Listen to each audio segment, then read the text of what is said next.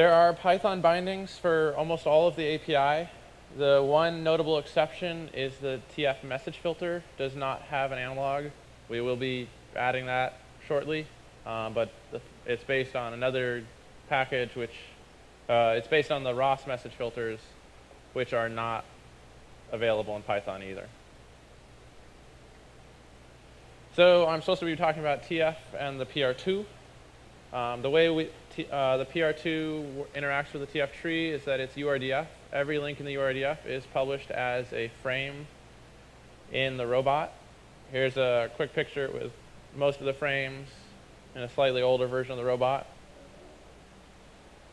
And all sensors have their own frame on the robot, and the data is published in that frame.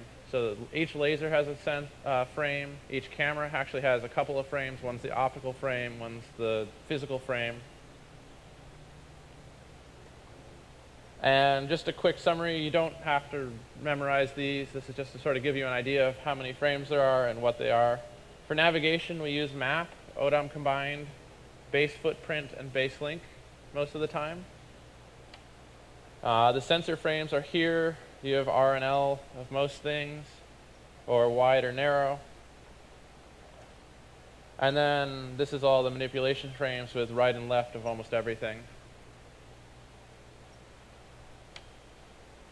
So, um, full documentation's on the wiki.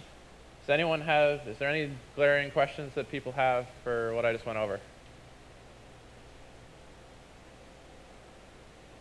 I don't believe you, but we'll keep rolling. And so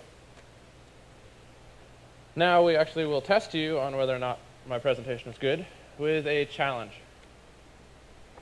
So you all have robots.